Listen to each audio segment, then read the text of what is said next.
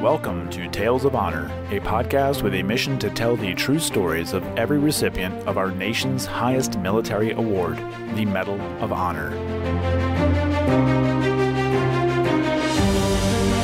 Hello, everyone, and welcome to today's episode of Tales of Honor podcast. I'm your host, Christoph Ambrosch, and this episode is number 531.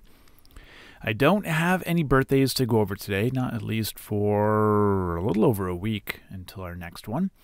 And it looks like we'll be continuing on with recent recipients. That's going to kind of be the theme for a little bit here. The next four episodes, I'm going to try to make the most recent four re- recipients that just received uh, last week, or sorry, this past week. Uh, if I can find enough information on them, I will uh, continue on with recent recipients. If not, I will move on to something else. You'll have to stay tuned to find out. We don't know. But that's all I have to go over today on this side of the house, so let's jump right on into today's Tale of Honor. According to the Congressional Medal of Honor Society, Earl was born on the 6th of April, 1980, in Clinton, Oklahoma, where he grew up on the family ranch. During his junior year of high school, he enlisted with the Oklahoma National Guard, but because he got into fights and would get injured, he couldn't get his ship date to basic training. Earl then enlisted in the U.S. Marine Corps in 2000 as an option in lieu of legal charges.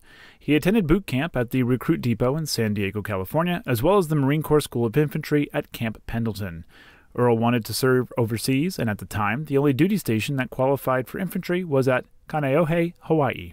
After the terror attacks of September 11, 2001, Earl attended the Recon Indoctrination Program with 4th Force Reconnaissance and continuing on to the Marine Amphibious Reconnaissance course, completing it to become a basic Recon Marine. He went on to complete Navy SERE, Survival, Evasion, Resistance, and Escape School, Basic Airborne School, High Risk Personnel Course, and Combat Dive School before returning to the 4th Force Recon. Earl did two deployments to Iraq as a recon Marine, got married to his wife Terry, and attended military freefall school before having a 12 hour break in service to join the U.S. Army with a Special Forces contract in 2009. He went directly to Special Forces Assessment and Selection and continued on to the qualification course where he attended SERE school for a second time. After graduating, Earl was assigned to the 4th Battalion of the 1st Special Forces Group Airborne as a weapons sergeant, and his actions during the April 2013 deployment to Afghanistan would earn him the Silver Star, which would later be upgraded to the Medal of Honor. The citation reads Staff Sergeant Earl D. Plumlee distinguished himself by acts of gallantry above and beyond the call of duty on August 28, 2013, while serving as a weapons sergeant, C Company, 4th Battalion, 1st Special Forces Group Airborne in support of enduring freedom. Sergeant Plumlee instantly responded to an enemy attack on Forward Operating Base Ghazni, Ghazni Province, Afghanistan, that began with an explosion that tore a 60 foot breach in the base's perimeter wall. Ten insurgents wearing Afghan National Army uniforms and suicide vests poured through the breach. Sergeant Plumlee and five others mounted two vehicles and raced toward the explosion. When his vehicle was engaged by enemy fire, Sergeant Plumlee reacted instinctively, using his body to shield the driver prior to exiting the vehicle and engaging an enemy insurgent 15 meters to the vehicle's right with his pistol. Without cover and in complete disregard for his own safety, he advanced on the enemy, engaging multiple insurgents with only his pistol. Upon reaching cover, he killed two insurgents, one with a grenade and the other by detonating the insurgent's suicide vest using precision sniper fire. Again, disregarding his own safety, Sergeant Plumlee advanced alone against the enemy, engaging several insurgents at close range, including one whose suicide vest exploded at a mere seven meters from his position. Under intense enemy fire, Sergeant Plumlee temporarily withdrew to cover, where he joined up with another soldier, and together they mounted another counterattack. Under fierce enemy fire, Sergeant Plumlee again moved from cover and attacked the enemy forces, advancing within seven meters of a previously wounded insurgent who detonated his suicide vest, blowing Sergeant Plumlee back against a nearby wall. Sergeant Plumlee, ignoring his injuries, quickly regained his faculties and re engaged the enemy forces. Intense enemy fire once again forced the two soldiers to temporarily withdraw. Undeterred, Sergeant Plumlee joined a small group of American and Polish soldiers who moved from cover to once again counterattack the infiltrators. As the force advanced, Sergeant Plumlee engaged an insurgent to his front left. He then swung around and engaged another insurgent who charged the group from the rear.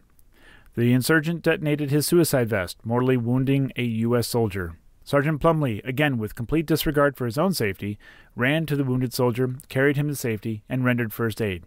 He then methodically cleared the area, remained in a security posture, and continued to scan for any remaining threats.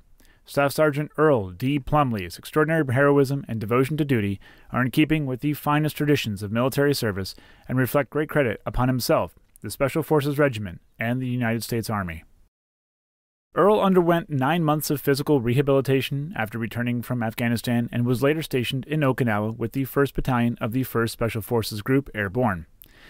Endorsements for Earl to receive the Medal of Honor went to the Senior Army Decorations Board in 2015, two of which were from Marine General Joseph Dunford and Army General Mark Milley.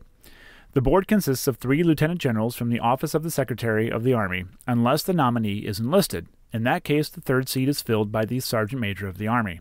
The board can vote to approve, deny, upgrade, or downgrade the award that appears in front of them. When Earl's Medal of Honor nomination appeared in front of the board, two members voted to downgrade it two steps to the Silver Star, and one member voted to downgrade to the Distinguished Service Cross.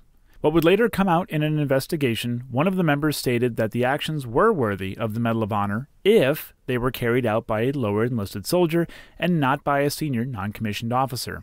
It was explained that a senior NCO should be expected to carry out the actions that Earl did that day.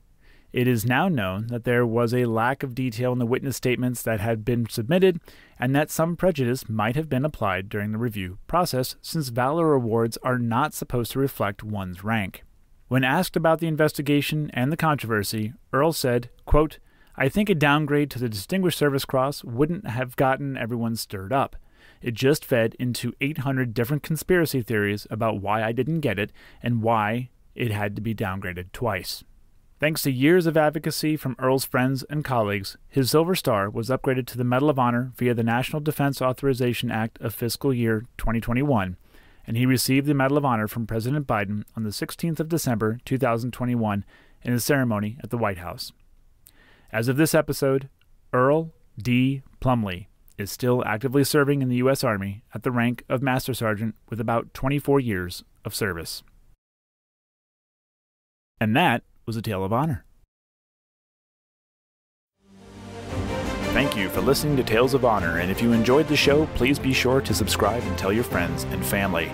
Tales of Honor is written and produced by Christoph Ambrosch, and theme music is Loyalty and Duty by Floruz Music. If you have any questions, you can send an email to talesofhonorpodcast at gmail.com, and please be sure to visit talesofhonorpodcast.com for more episodes and information.